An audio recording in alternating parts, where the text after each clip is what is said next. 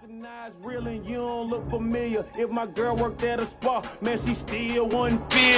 Cocaine flow, they done dropped me in the pot. I came out hard and I the block. Tity 2 Chainz, I hell do so many dates on my calendar.